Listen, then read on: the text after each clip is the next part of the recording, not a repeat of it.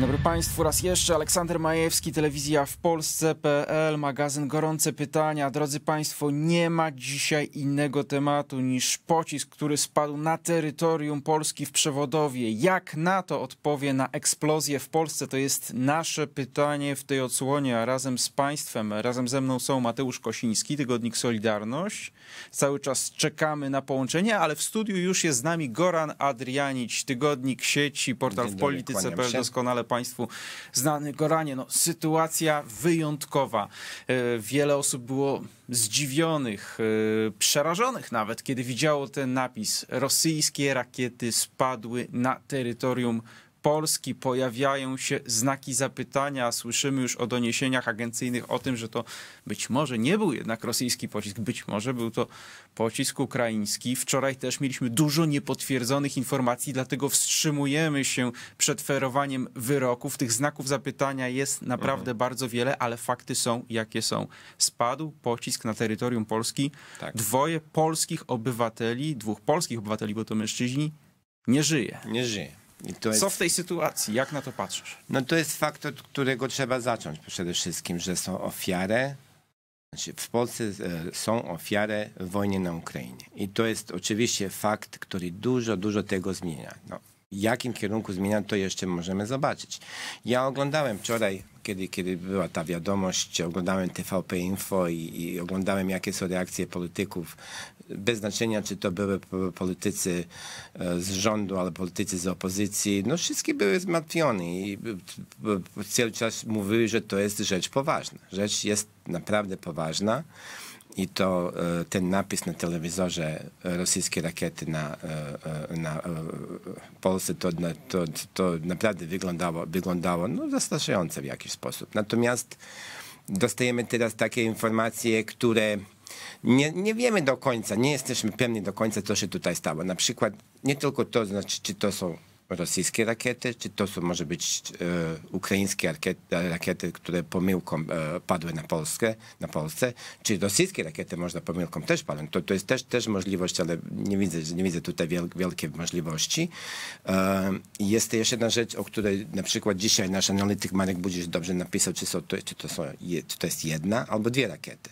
Bo Cały jest- czas jest ten znak zapytania. Rzeczywiście, nawet na portalu zastanawiamy się, czy używać tej liczby mnogiej, czy nie, bo cały czas Tak, mamy to jest, to, jest, to jest informacja, która jest wyjątkowo ważna, bo jeśli to są dwie rakiety, to już nie można mówić o żadnym incydencie, o żadnej, żadnym przypadku, ale to jest po prostu atak. Z tak? drugiej strony słyszymy o tym, że były intensywne ostrzały celów na Ukrainie i być może gdzieś ta rakieta, jedna czy dwie, po prostu się zabłąkały. Ale że dwie rakiety w tym samym czasie, W no. tej sytuacji no, mamy masowy ostrzał. Może jest to możliwe. Tak. Nie jesteśmy ekspertami do spraw wojskowości, ale takie głosy rzeczywiście gdzieś się pojawiają.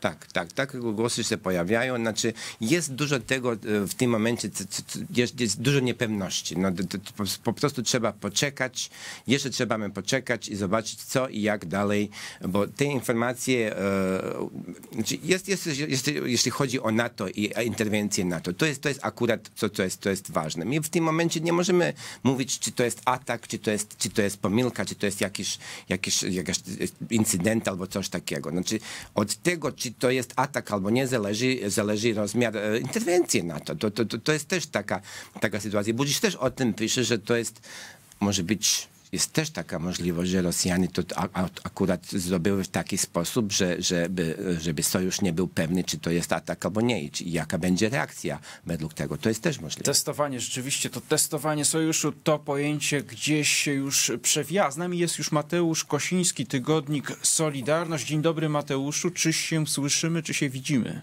Dzień dobry, ja słyszę, tak. Doskonale. Mateuszu, no mieliśmy rozmawiać o czym innym, nie ukrywamy. Tutaj uchylimy trochę rąbka tajemnicy naszym widzom. Miała być krajowa polityka, miał być rząd, opozycja, Tusk, Kaczyński, te wszystkie terminy, które nam się kojarzą z krajowym podwórkiem politycznym. Tymczasem rozmawiamy o czymś zgoła odmiennym. No chyba wszyscy jesteśmy w szoku. Powiedz proszę, jakie emocje towarzyszyły ci, kiedy zobaczyłeś ten pasek, kiedy usłyszałeś o tym, że rosyjskie rakiety, bo tak brzmiała pierwotna wersja wydarzeń, ta pierwsza depesza, spadły na terytorium Polski.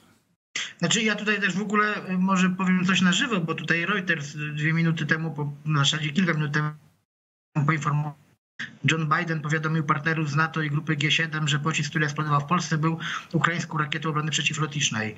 przeciwlotniczej. Podobne informacje, e, no tak, to jest informacja Reutersa, czyli dosyć źródło dosyć pewne, więc e, no, informacja, że tak powiem, sprzed e, kilku chwil. No i gdy mm, o tym usłyszałem, no na pewno jest to pewne uczucie zaniepokojenia, tak? Tylko, że to uczucie zaniepokojenia u osób, które mają pewną świadomość tego, co toczy się za naszą granicą, że nie jest to jakaś gra komputerowa, nie jest to zabawa. E, te uczucie zaniepokojenia myślę, że wielu z nas ma tak naprawdę już od prawie roku, tak, od wiosny.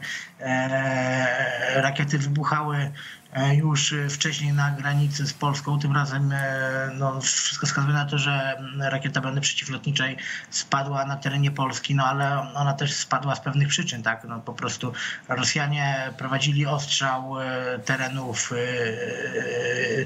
bliskich granicy. Zresztą wybuchy na terenie Ukrainy było słychać w tych e, przygranicznych powiatach e, w Polsce. E, no, na pewno, na pewno mm, myślę, że bardzo dobrze zachowały się polskie władze i ten spokój, który był taki odczuwalny i ta taka lakoniczność komunikatów i e, no to, to, to powinno mieć miejsce, tak? To, to, to nie jest czas na jakieś, e, na jakieś emocje, na rozgrzane głowy. Sytuacja jest poważna, e, była poważna, jest poważna i no, no wszyscy śledzimy, czekamy tak na konkretne informacje. Rzeczywiście, wejdę w słowo te lakoniczne komunikaty zwracały uwagę. W poprzedniej odsłonie przywołaliśmy wypowiedź prezydenta Andrzeja Dudy. Teraz z kolei przypomnimy, co powiedział szef BBN Jacek Siewiera tuż po naradzie dotyczącej właśnie tej sprawy. Pan prezydent e, przed chwilą zakończył rozmowę z sekretarzem generalnym e, Sojuszu Północnoatlantyckiego. E, weryfikujemy, jak Państwo wiecie, e, przesłanki wykorzystania artykułu e, czwartego Opanowanie, spokój, powściągliwość, chyba tak można w skrócie opisać to wystąpienie szefa BBN, ale również innych przedstawicieli państwa, w tym tych najwyższych przedstawicieli, czyli prezydenta Andrzeja Dudy i premiera Mateusza Morawieckiego. Warto zwrócić uwagę, że na tę sytuację od razu zareagowały Stany Zjednoczone, od razu był e, komunikat Departamentu Stanu, komunikat Pentagonu i może najpierw zaprezentujemy właśnie państwu pierwszy z nich, jakie było stanowisko rzecznika Departamentu Stanu Stanów Zjednoczonych. Przed artykułem 5 jest artykuł 4, który odnosi się do konsultacji w sytuacjach awaryjnych. Czy takie konsultacje nie należałoby teraz uruchomić? Oczywiście jesteśmy gotowi do tego, żeby stać w ram, ramię w ramię z naszymi partnerami z NATO. Natomiast nie chcemy wychodzić przed szereg na podstawie jedynie hipotetycznych informacji. Na razie nie wiemy, co się zdarzyło. Widzieliśmy doniesienia z Polski Polski. Są to doniesienia niezwykle niepokojące i współpracujemy z naszymi partnerami w Polsce i w całym sojuszu, aby ocenić, co rzeczywiście się wydarzyło. W przypadku przedstawicieli państwa amerykańskiego również widzimy tę powściągliwość. Wiemy, że sytuacja jest dynamiczna. Depesza Reutera, na którą powoływał się Mateusz Kosiński, rzeczywiście już zaczyna krążyć, czyli informacja o tym, że pocisk był jednak ukraiński. Taką informację przedstawił prezydent Joe Biden, ale warto zwrócić uwagę na mechanizmy, jakie zostały uruchomione. Od razu mamy stanowiska NATO, mamy stanowiska różnych przedstawicieli Stanów Zjednoczonych, mamy wreszcie słowa wsparcia ze strony przedstawicieli różnych państw, w tym państw z naszego regionu. Co to mówi o przygotowaniu świata zachodniego na ewentualną eskalację konfliktu? To znaczy, to mówi akurat, że ten świat jest przygotowany do tego i że to jest możliwość, która cały czas się rozwiąże. No, um, no i tak, to po prostu to, to było bardzo ważne w tym. E, są krytyki, że, że, że rząd e, nie zareagował z jakimś narracją e, oficjalną, publiczną wystarczająco szybko. No, można o tym mówić. Natomiast sytuacja jest po prostu wrażliwa. To, to jest sytuacja, która jest związana z poważnym konfliktem, konfliktem który nie wiem, jaki by rozmiar mógł, mógł mieć, tak? Także tutaj naprawdę trzeba być uważny i, i, i, i uważać co i jak. Także Ja z drugiej strony nie jestem tak zadziwiony, że rząd to e, po prostu chciał e, wyjść z informacjami, które są naprawdę weryfikowane i które są naprawdę pewne.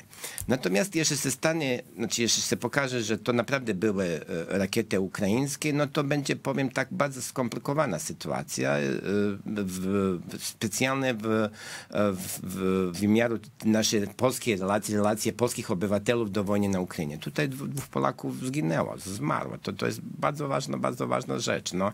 I trzeba po prostu teraz ta, taką narrację e, zrobić, żeby było jasne, że to, co się stało, nie może w jakiś sposób nasz, nasz sojusz z Ukrainą a, a, a, ugrozić. Po prostu nie może, nie może być tam, tam, tam naprawdę jak, jakimś tam, jakąś groźbą dla, dla naszego sojuszu z Ukrainą. Także to jest, wydaje mi się, ale jeszcze raz, mówimy trochę na pamięć, natomiast Reuters, jak powiedział kolega, jest tako źródło, które jest wiarygodne, to zobaczymy co i jak dalej. No? Zobaczymy co i jak, ale rzeczywiście te informacje agencji Reutera mogą trochę komplikować przekaz, komplikować sytuację. Pytanie do Mateusza Kosińskiego. Mateuszu, na co dzień zajmujesz się informacjami, przekazami. My wszyscy jako dziennikarze mamy z tym do czynienia. Powiedz proszę, czy te najnowsze ustalenia, najnowsze doniesienia dotyczące tego, co wydarzyło się w Przywodowie, no trochę komplikują sprawę. Jak rządzący, jak władze Polski, nie tylko Polski, mogą teraz przedstawiać tę sytuację, żeby nie siać paniki, żeby nie doszło tutaj do załamania struktury bezpieczeństwa kraju, też odbioru tej sytuacji przez społeczeństwo, bo wiemy, że jest to niezwykle ważne w tak newralgicznych sytuacjach. Znaczy, no, proszę, no, tutaj komunikat powinien pójść taki, że w naszych granic y, toczy się wojna. E, pociski e, przeciwlotnicze, obrony przeciwlotniczej spadają również na teren Ukrainy i e, friendly fire, czyli nie wiem, ostrzelanie przypadkowe mm, ukraińskich oddziałów przez ukraińskie oddziały też się zdarza, tak? To się zdarza na każdej wojnie i, i zresztą z podobnymi przypadkami mieliśmy do czynienia chociażby w, w przypadku wojny w Syrii, gdzie tam na linii rosyjskiej i tureckiej się działo również, pamiętamy strącenie bombowca mm, i tak dalej, więc no tu jasny komunikat musi pójść, że to oczywiście nie to oczywiście nie może zaważyć na, na, na tym sojuszu i na tym, kogo tu oceniamy jako agresora. Oczywiście rodziny poszkodowanych powinny otrzymać w mojej ocenie z, y, wsparcie ze strony państwa ukraińskiego, odszkodowania, no ale to ja wiemy, że to przecież no, nie przywróci życia tym ludziom i tutaj e, chylimy czoła przed, przed śmiercią e, tych um, obywateli Polski. E, no, wojna zawsze niesie ze sobą niepotrzebne ofiary i zdarza zdarza się, że, że są tego typu mm, ofiary. No przecież y, y, często te pociski, które no, no nie zawsze są pod kontrolą człowieka, one nie znają pojęcia granicy, tak? One no po prostu, no, no, no, no, no to jest wojna u naszych granic.